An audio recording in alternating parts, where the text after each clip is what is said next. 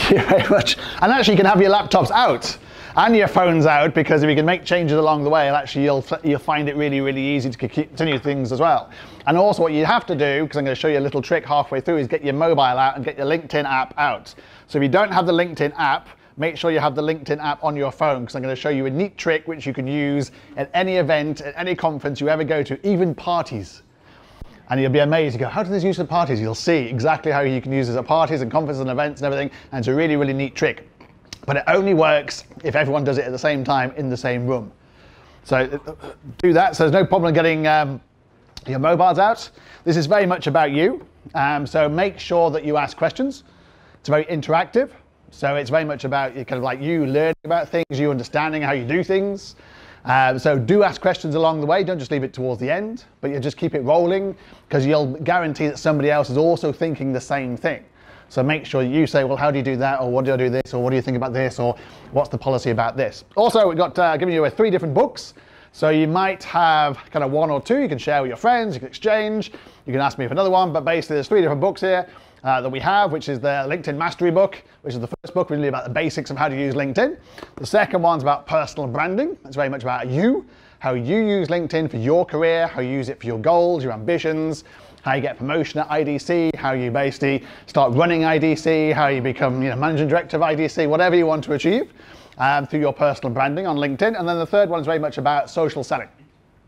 How you can socially sell yourself to socially sell IDC um, and use things like Sales Navigator, Point Drive, um, content marketing strategies, and all the principles of that, which we're going to go through a bit today as well, regards to the top 10 tips. So basically all the tips are included in here. Um, you can also have a copy of the presentation as well, and you can also ask me messages afterwards if you have a question you don't want to ask in front of everybody else. And then you can ask me that question kind of privately as well. I'm an open profile on LinkedIn, which means even if we're not connected, uh, basically you can send me a message. You should be all connected because my team's been busy kind of like sending you messages the whole time. Um, so why listen to me is always a good way to kind of start that because there's lots of other people out there who basically say they can do LinkedIn.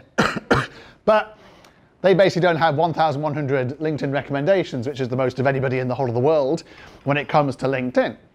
So we're very much kind of saying, well, it's not just us saying we're pretty good at doing LinkedIn. Um, it's actually 1,100 other people who have actually seen my talks or experienced black marketing and our service, which said, yes, these guys do a very good job. And we have clients all over the world. So it's not just people in Singapore or even in Asia that actually are recommending us. And we won lots of LinkedIn Profile Awards, which is basically the Power Profile is awarded by LinkedIn. So it's completely independent, and they basically say the top 50, top 40 people in the whole of Singapore, most engaged profile, they give an award out. Um, often it's people like Piyush Gupta at you know, DBS, just because he's the CEO of DBS. Um, but us SMEs and people like yourselves have to work a bit harder to basically get that kind of engagement. So if you follow some of these tips today, you'll see that and you'll get some of those tips and you too can become a power profile if you dedicate um, yourself to doing this. Um, we also won lots of awards, black marketing team, of which Matthew is our, part of our video team, who's videoing us today, for example. Um, is basically won the B2B Marketing Agency of the Year award lately, for example, and Best Brand and so forth. Uh, let's say we have the three books. Uh, we also have the five different brands. So we have Black Marketing, it's going for six years now. Um, I created it in 2014. Um, and now we employ 35 people in Singapore. We've got hundreds of clients across the whole of the world, but it's very much a Singaporean company with 95% of um, the team are Singaporean. Um, we have a keynote speaker brand, which is very different. It promotes women keynote speakers. Because what we noticed was that there was too many bureaus out there who promoted men. And they normally tend to be the same men every single time. So we actually wanted to turn it around and say there's too many panels, there's too many uh, keynotes out there. We are purely purely men, and not even kind of like differential, not even Asian men. They tend to be kind of you know white middle class men who basically get the same talks, the same time, and the same experts. So we're challenging that with a brand called Rockstar, which is actually two applauds there, one for a woman, one for an Asian guy. So. so both of you are part of our diversity push. So yeah. But it's true because a lot of people say it's not just. Uh, as I, uh, speaking to an Indian speaker last week, and he said it's not just about women speakers, it's actually about Indian speakers as well. They don't, they don't get much um, share either. I'm not just talking about Asia here, we're talking about Europe and America, we're talking about globally. Uh, it's a big, big problem. So that's why I call people out on LinkedIn. If I see a picture of six men in a row on a panel, for example, I'll say, what the hell is this doing in 2019? Because it shouldn't be happening, it should be diversity. Because you can't tell me you can't find an expert anywhere in the world. There's a, a woman speaker who's an expert in the particular field. They just haven't tried looking, basically, or they've just gone to their circle, and their circle tends to be men because they're a man, they're a man themselves. So that's what this is pushing. It's run by um, a kind of Singaporean woman here. Uh, basically, he's pushing it out there. We've got clients all over the world. We have over, over 120 female speakers now, some in America, some in UK, some in Hong Kong, some in Singapore, some in Australia, and very much pushing those experts uh, who are as good as, if not better, than many of the male speakers out there. And then we have our big conference. So we had this last year at Microsoft, which a few of you attended, and we had 20 fantastic speakers. And it was so successful, we sold out, 400 people over at Microsoft HQ. So this year we're going one step bigger. We're going to Marina Bay Sands. So Marina Bay Sands be July the 9th, and we're doing group discounts. So if you can persuade your team members to buy 100 tickets or 50 tickets, there's some great discounts up there. Literally anything from $129 to $199. And it's 20 speakers talking about social selling. So literally experts from around the world. We've got some of the best speakers from North America, from Australia, from the UK flying in just to basically share their insights in terms of social selling. We also got some of the best speakers here in Singapore. And we have more women speakers than we do male speakers. So we're actually practicing what we preach. We actually have 12 women speakers and eight male speakers.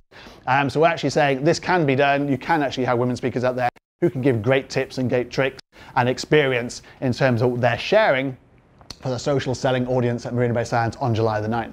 Uh, we also have the Masterclass brand, which is what this is part of. Um, but why LinkedIn? So LinkedIn's really, really important. But why is LinkedIn and why am I showing you Google? Well, nine times out of 10, if someone's going to meet you, they tend to meet you and they tend to do some research before they meet you. First way of doing research tends to be Google. So when I Google someone, for example, say I Googled Eva, the first thing that comes up is her website, but the second thing that comes up is her LinkedIn profile. You notice that I didn't even put LinkedIn into her um, profile up there in terms of Google, but it still comes up. because LinkedIn and Google kind of work together, and Google looks at the LinkedIn profile and says, how difficult is it to create that? How many links has it got? How many parts of it? Uh, and then it puts it here as opposed to Facebook and Twitter, which tends to be third, fourth, sixth, seventh page. Doesn't tend to be very high because you get lots of fake Facebook accounts and Instagram accounts and Twitter accounts, for example. Whereas you don't get um, any fake LinkedIn accounts because it's very hard to actually create a fake LinkedIn account. So it's all about, this is why you should very much look at your LinkedIn profile because people are Googling you now, whether you like it or not. And then the first impression they get, if you look at IDCs, for example, Eva's, um, is that kind of positive impression. So you basically have to look at the background picture, the picture, the headline, the summary section, and so forth. I'm going to go through some of your profiles a bit later on. So um, you might want to leave the room at that stage or uh, take some notes. Um, so I've only picked out some of them, or my team have picked out some of them. So you have to wait in suspense about who we're going to uh, going to pick on. Sorry, pick on, uh, to focus on. Um, and then uh, the LinkedIn company page. Obviously, you should be following this, the IDC page, because again, it's very important. People are googling the company page, and you should be following this. But it's not as important as the personal page. Because obviously the personal page is when they're about to meet you, they're Googling you, they're finding out about you, they want to know about you, and they want to hear about kind of like your thoughts, who you're connected to, what your experience is, what your education is, what your non-profit stuff is, all those kind of different aspects that make up your personal brand. But why LinkedIn? It's a, it's a, it's a, a legitimate question. Um, LinkedIn's very much over 610 million people now across the world, and it's professionals it's not just anybody. It's not going after that Instagram audience, that Twitter audience, that Facebook audience, that Weibo or WeChat audience. They don't want a billion or two billion. They want professionals, only professionals. So it's about looking at you know those 610, 620 million professionals and where they are. And as you can see now, they really are across the whole of the world. Um, you know, China has 50 million, India nearly 60 million now. Uh, Brazil has 36 million. I love the fact that Colombia has 7 million. I'm wondering what kind of import-export businesses they're doing in Colombia. You know, Escobar had his own LinkedIn profile going, yes, who wants to do a deal with Miami? Yes. Uh, which I find amazing. I think the internet speeds down there must be quite slow, but they're still. And you look at Brazil, it's got 36 million people in Brazil are using LinkedIn. It's quite phenomenal. You look at that kind of thing, and it literally is the whole of the world, apart from two countries. Russia is not on. So Russia has actually banned LinkedIn and LinkedIn because LinkedIn won't share the data which is ironic because they're sharing the data with China. Because if you go to China, it's a different LinkedIn. It's a Chinese LinkedIn. And basically, it's the same LinkedIn in terms of connections, but if you post anything bad about the Chinese economy or about the Premier, it doesn't get posted. So it's a kind of censored LinkedIn, but they also have done a deal whereby they exchange the data. But they weren't prepared to do the same thing with Russia, which tells you how bad Russia must be if LinkedIn won't even do a deal with um, Russia. But they have a deal with China. So just to be aware of that if you're basically um, mailing people in China, um, because it's a slightly different platform and it's half owned by the government. But at least they're in China, which means you can set up lots of deals there and meetings there. We have lots of clients in Shanghai and Guangzhou and Beijing, for example. So you can do lots of deals there through LinkedIn. You can't do the same with Russia, unfortunately, or North Korea. So those are the two countries kind of missing. But it's very much global. You know, it's very much about a global network. You can find anybody. you can learn from anybody by actually looking globally. It's also very much a gamification platform. So basically, it, basically it makes you addictive to actually doing things because it says if you fill in the summary, or if you endorse somebody, if you send a recommendation, or if you like this, or share this, or comment on this, then basically LinkedIn's algorithm says this person's active, will boost them in the rankings. And it literally is, they will boost your social selling score, they will boost your ranking score if you're actually active. In the same way, if you're not active, they'll actually punish you. They'll actually put you further down the list in terms of uh, rankings because they say, well, this person's not active, we'll put them much more further down the list, which is why it's worth doing something on a daily basis, even if it's just on the mobile. You know, just doing things, liking things, sharing things, engaging, kind of like doing little things. You know, put Facebook down for five minutes, put YouTube down for five minutes, and just do something on LinkedIn because it does pay off. So if you're on the MRT, if you're in a coffee shop, if you're waiting for a friend, if you're basically just, you know, you have those kind of five minutes, 10 minutes in the morning, 10 minutes in the afternoon, it'll make a phenomenal amount of difference to your LinkedIn profile and your engagement levels, your social selling index. So I like this quote. Because it's very much about LinkedIn. Obviously not because I like, hello? Not because I like James Blunt, because nobody would admit to liking James Blunt in front of an audience. Um, but I like the quote because it's very much about LinkedIn. I'm self-deprecating because I'm British. If I was American, I would tell you how great I was. And that's very much about how LinkedIn comes across. If you look at American profiles on LinkedIn, they tend to be, yes, I'm fantastic, yes, I'm amazing, I'm incredible. But many English people, and in fact Asians and Australians and, and Kiwis, say, no, no, we can't do that, I can't share that. No, it was a team thing. We worked together on that. I'm not taking the credit for that. The problem with doing that is there will be some American who basically said, no, I did it. And they'll get all the work and they'll get the jobs and the employees and the investment and everyone will think they're amazing. So you have to do a bit more self-promotion. I know it's not natural for a lot of people, and especially a lot of Asians and Kiwis say to me, and a lot of Australians, Australians even say to me, which surprises me, but Australians even say to me, look, I don't want to, you know, I don't promote myself. It's very much a team thing, but you have to get over the fact it's professional. It's not personal, it's professional. So you've got to make sure that you actually do promote yourself. When I was in London, for example, I never used LinkedIn because people knew me in London. I was been there for 20 years. I knew everybody in London. They knew me. I didn't need to. But over here, when I first came here, nobody knew me. So I had to work a bit harder to actually get some kind of engagement. I had to work a bit harder to actually stand out. Hence the mohawk. Because you actually, and it works across the whole of Asia Pacific in terms of personal branding, and then you basically learn that these kind of things tend to work. So you have to have a bit more confidence in yourself in terms of promoting yourself in a professional capacity. And it's only a professional capacity. It's not the friends and family, it's not the Facebook capacity, it's not the Instagram capacity. So we believe there's four different ways that we've tried and tested over the last kind of like seven or eight years that works on LinkedIn. The first one's very much about you. It's personal branding. People buy people, they don't buy companies. So as much as you're um, selling and marketing IDC, you're actually marketing yourself before you're marketing IDC because people are choosing you to actually engage with, to buy from, to, to sell to, to sell from. So you have to think about how your personal branding comes across, which we'll talk about today. And then it's about content marketing. So a lot of today is talk about content marketing and how you can use content marketing to en enable yourself to enhance your personal brand and promote IDC, but also promote yourself through content marketing. And then it's about company branding, and then it's about social selling. So we'll touch on all these different aspects um, today. So the first tip is very much about your personal brand, your visual impression. So if I show you this, you'll get a very visual impression of a personal brand. You know, you have the, the, the makeup, you have the, the scars, you have the hair, you have the designer suits, you have a certain brand there, you have certain brand values, for example. So every single person has a visual impression on LinkedIn. And you have a perception of that through your personal branding when you actually see that. so if I showed you, for example, the fact that I believe every single person has a metaphorical mohawk, you have a mohawk too, just doesn't have to be as, as direct as mine, as physical as mine and you have to think about what's yours. So a good example of that is Karen. Karen is the GPS girl. So she's the girl's voice, she's the woman's voice, for example, on GPS, which basically says recalculating, recalculating, recalculating. She's on 2 billion devices. And she's also on the voice of Siri. So she basically has branded herself as the GPS girl, and she's got gpsgirl.com.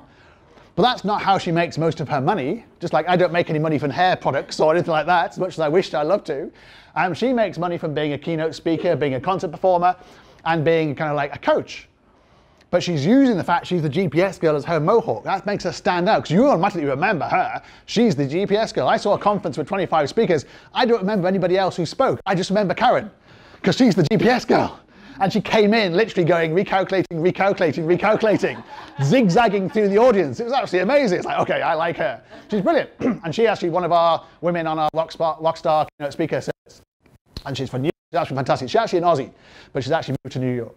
Um, you look at Steve Dawson, for example. He's on Fox Sports, and, but that's not what he's selling because he can't sell Fox Sports. So from a personal point of view, he's selling the fact he's a coach, and he's gone big on the fact he's a coach. Because if he just said to you, I'm on Fox Sports, you go, yeah, that's nice, but I can't buy anything from you.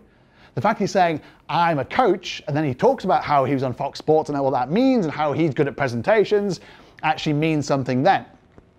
So he's been very wise about how he's used his personal brand, how he's looking at his personal brand to communicate that on LinkedIn. Same thing I showed you someone like Andrew Bryant, for example, who's gone for the whole self-leadership, and he owns that whole self-leadership side of things. Nobody else, nobody else really does self-leadership like Andrew. And Andrew's going to be speaking at our social selling conference, for example. and he usually charges $25,000 to do his talk. So it's worth coming along to see him for half an hour at our talk because he's just amazing in terms of how he communicates about you, all have self-leadership.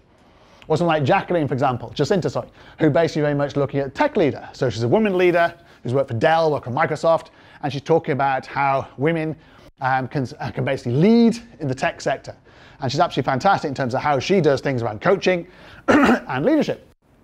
And then Avi here, for example, is delivering delight. So he's the delight officer. You know, that's his USP. It makes you go, oh, that's interesting. Nobody else has actually done that. So, you know, everybody is a chief delighting officer. That's his USP. Absolutely fantastic. Very original. So every single person, every single person here has a mohawk moment or mohing to actually market themselves. So you need to ask yourselves, what's yours? Have a think about how you want to present yourself on LinkedIn. What's your GPS? What's your delight? What's your self-leadership? What's your tech leader? Think about that in terms of how you come across. And then if you're Sophia the robot, you can be obviously the robot. So Sophia the robot is actually on LinkedIn and I actually met her in Hong Kong. Uh, and is there, she basically is fantastic. And she's now created a mini Sophia. You might have seen her posting about it on LinkedIn. She's now got a mini Sophia kind of running around the place. It's like, pretty soon she'll be owning LinkedIn, I'm pretty sure, with her AI. But she's amazing. So you can actually follow Sophia the Robot on LinkedIn. So don't do things like this. Because as much as I might aspire to being George Clooney one day, I'm not. so I can't use his picture in my profile. And this is what I call your classic Facebook photograph. This is like you're down Boat Quay, you've had a few drinks, you're in a KTV bar, someone says to you, dress as a panda, Chris, you've had a few drinks, you say yes to anything, and then next time you know it, someone's taken a LinkedIn picture and put it on LinkedIn. Um, taken a picture and done that, and then you wait, oh, why did I do that? Don't do Facebook photographs on LinkedIn. Which one's Melita? Eeny, meeny, miny, mo. Don't do that. Because how do you create a relationship with someone you don't even know who the right person is? And why do people use animals on their LinkedIn profiles? I don't get it at all. Unless you happen to be the brand director of Guinness, because that's the Guinness symbol, then don't use that. But he's not in charge of Guinness, so why is he using it? I don't know why you would do that. And then this guy could not decide which photograph to use, so he used all the photographs in one go. And then, of course, on the mobile, it looks so small you can't see any of them. And Elizabeth here went for the full Tinder look. She decided to put her Tinder picture up there and say, yes, this is okay. The problem with doing that, Elizabeth, if you work for the Hyatt Hotel Group as the human resources manager, hashtag me too. Not a great thing to do, yes. Really not uh, career enhancing. And if you live in China, definitely, definitely, definitely don't do this. Jason hasn't been promoted for many, many years now. Very strange thing to do in China. So your personal brand positioning statement is also very important after your photograph. So you look at Just Do It, that's Nike's. If you look at Apple's, think different. Mine is the only CEO with a mohawk, so I use that. Uh, your headline follows you around, so you have to really think about what your headline is, how it communicates your personal brand and your company brand and what you're actually marketing, because it follows you everywhere. So if I post something, it comes up. If I comment on something, it comes up. If I basically get tagged by somebody else, it comes up. I get searched by somebody, as you can see here, contrast the two, it comes up. And those keywords are in there for a very reason, because they get found. And LinkedIn's a search engine, as Google is, so you get found if you actually put keywords in there. And it also appears in other people's profiles, for example. So it appears there it's marketing me everywhere else, even when I'm not actually using it myself. So I'm there, and then this bloke called Bill Gates is also there. But he obviously, everyone knows who he is. Not everybody else knows everybody else. So you have to use your headline, use your keywords there to be basically communicate your personal brand. And then you might want to challenge people. I like the way Mike Naki does this, for example. The coolest guy in Nashville, Google it to see for yourself, because he runs SEO. So we did, and he is. He's the coolest guy in Nashville. I love it. Imagine he came second. Then he'd have to change his headline to be the second coolest guy in Nashville. Doesn't have the same ring about it. And obviously, if you're hiring, tell people you're hiring. And they know to approach you and say, hey, I noticed you said you're hiring. Let's have a conversation because I'm looking for a job. And if you're looking for a job, tell people you're looking for a job. Because otherwise, how do I know you're looking for a job? So people say to me, oh, I can't get a job on LinkedIn. I say, well, you haven't changed your headline to say looking for jobs? Say, no. Well, how do people know? They don't know. But she's communicating the fact that, so we actually approached her. And we had a conversation. My GM had a, conversation about her, what kind of jobs she's looking for. Had she not done that, we wouldn't have approached her. I know many, many people, and we've helped many, many people get jobs just by, and they've had looking for opportunities there because people do Google searches or LinkedIn searches on that, on looking for opportunities. And if you do that, you'll come up with thousands of people in your city who are looking for jobs.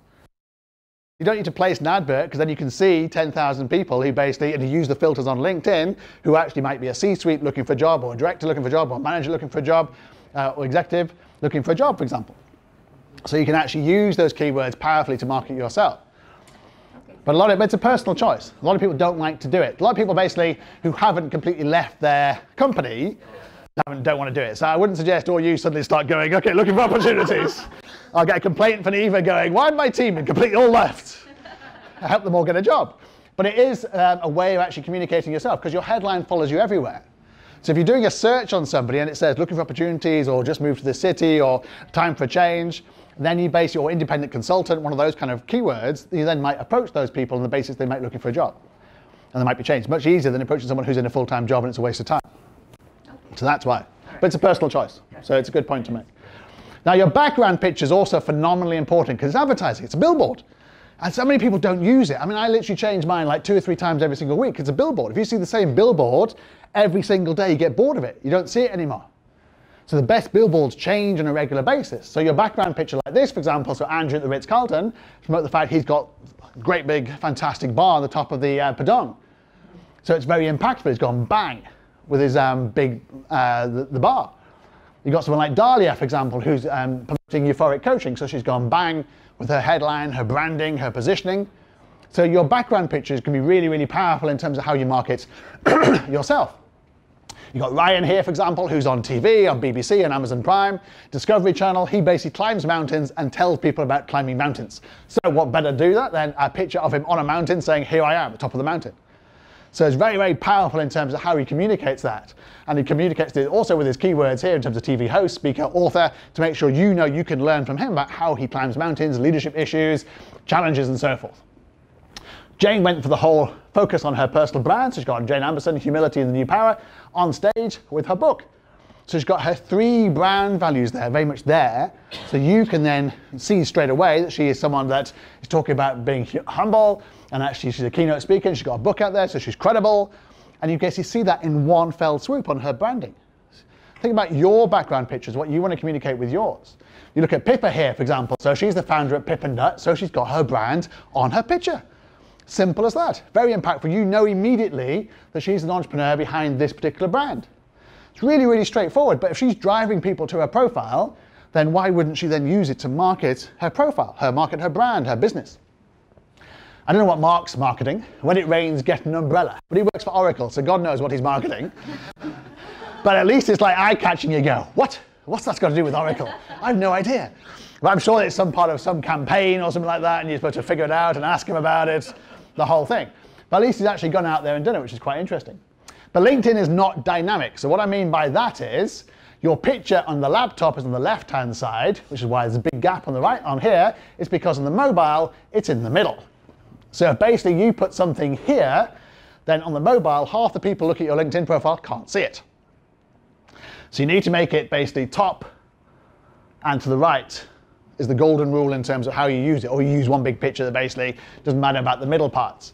But you need to think about how it actually works on the mobile as well as how it works on the laptop because they're different platforms and LinkedIn is not dynamic. It doesn't move your landing page or your billboard picture around. So don't do things like this. Lonely and younger. and we've tried to find her because she lives in Singapore. She's on that swing somewhere in some playground in Singapore we can't find her. So if you know Cindy, tell us who she is. Five years we've been trying to find her. So again, it's not Tinder, so don't do that. And don't do this. Human being. Albert felt the need to put human being now, just in case someone is searching for a human being on LinkedIn. Why would you do that? I'm not sure. This guy went for the whole demigod. And I'm sorry, Dave, but this is not a photograph to sell miracle health. You can't be a demigod looking like that. You could be with George Clooney picture up there, but not with your picture up there. And Shelley Sharma went for the whole wife of Stephen Sharma. Why would you do that? especially as Stephen did not reciprocate. He has not got husband of Shelley Shaw up there. and surely he should. Because Dale has. Dale's got spouse of owner at a Picosa Mexican restaurant. So he has no brand status by himself. He's just going out with someone who owns a dodgy restaurant in Hong Kong.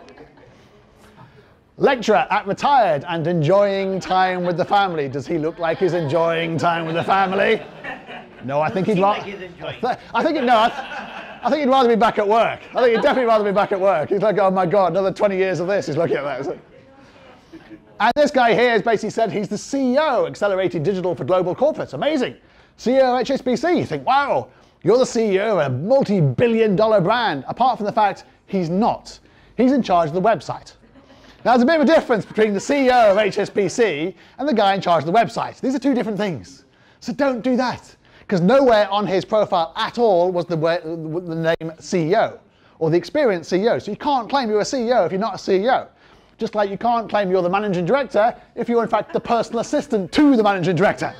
These are completely different jobs. It's like saying I'm the manager of Newcastle United just because I follow Newcastle United. These are two different things. You can't claim one after the other. And if you're going to claim you are the people of the year, uh, make it uh, rele- relevant, like in the last 10 years. You know, saying you won an award in 2010 isn't a great thing because people go a bit like a restaurant review on TripAdvisor. You know, you won an award for 10 years ago on TripAdvisor and you haven't won one since for 10 years. You go, what happened since? Yeah, this one here is like, what happened the last nine years? Was there no awards? Nothing worth sharing? But uh, it's a common thing. Miss Switzerland 2013. So that was her biggest achievement. It was six years ago. What happened since? You know, people don't want to basically hear about 2013, they want to happen in 2019, 2018.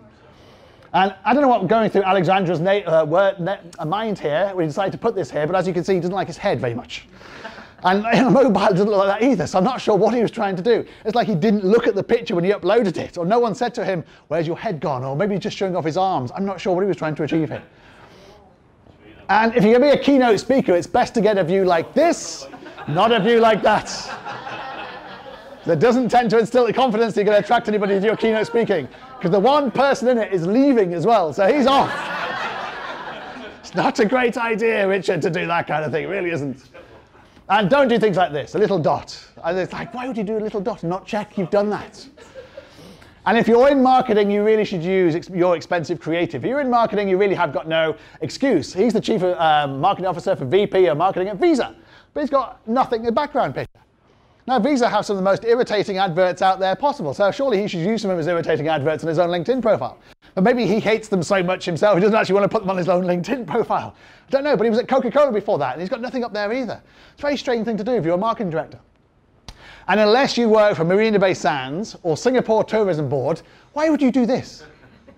Because there are about a million other people who also do the same thing, also put Marina Bay Sands up there. And it's like, really, it's like, it's not part of your personal brand. It's like if you go to Sydney, everyone's got Sydney Opera House. If you go to New York, everyone's got New York. And it's like, why are you doing this? It's not marketing you, it's marketing the, comp- the country you're in. It's not personal. Unless, of course, you do actually work for Marina Bay Sands, in which case you obviously have to put the picture at the back. You have no excuse whatsoever. You have to put the picture up there. And you really have no excuse if you work for Marina Bay Sands and you do this. So you've got the most Instagrammed hotel in the world, and you go, no, I want the blue background instead that LinkedIn just give me. I don't want to use that picture of my brand. So you have to do that. Actually, the Greta- creative thinking. So it's outside the box, is it? So much for Not using Marina Bay Sands. she used it upside down or something. It does something slightly different. Use a mirror image of it or something. I don't know. Do something slightly different. Do a hotel, you know, the view from Marina Bay Sands or something. You know, But aren't people plagiarizing a lot of stuff from LinkedIn? probably. Blatantly. Google, for, yeah, for Google, because you can't control it. You know, how many of these pictures are actually legitimate pictures? You know, they're mostly pictures you get off Google. But, you know, no one's ever going to prosecute for it unless it's got Getty images all over it or unless it's got some kind of brand on it. Um, so obviously, if you're holding a, an event at Marina Bay Sands, you can do this. So we've had all our team, for example, use Marina Bay Sands because we've actually got an event there. We're actually saying about the event and about the events at Marina Bay Sands. so we're actually putting a reason behind it, not just putting the picture up there for the sake of putting it up there. And I don't know why people would want to do this. You know, Bell here's got, I used to work for Uber, Netflix, and Spotify, but I'm so ashamed of my current company, I haven't told you where I currently work. Because I used to work for some really good ones, but I don't work for really good ones anymore. And it's like the, the worst people are Googlers. Because basically, if you, go, if you um, LinkedIn ex Google, 46,000 people come up who have the words ex Google on their LinkedIn. It's like saying, well, I used to work somewhere really good, but I don't anymore, but I still want to claim some kind of credit for working there. And it's like, why would you do that? And then this guy actually works at Google, but that's, that's not good enough for him. He still wants to let you know he used to work at McKinsey and he used to work at Goldman Sachs. It's like, why would you do that? It's on your experience section. People can see that. You don't put it in your headline because it looks really, really, fat, look really bad. And this guy, when I went to Zurich and I met this guy, and he clearly did not want to be working at Zurich. He wanted to be working still at BBH. So, former head of strategy at BBH, gone client side. And his whole summary section is, oh God, I've been forced to work for Zurich Insurance. It's like, Made in Germany. made in Germany, definitely made in Germany, yes. He had that German sense of humor.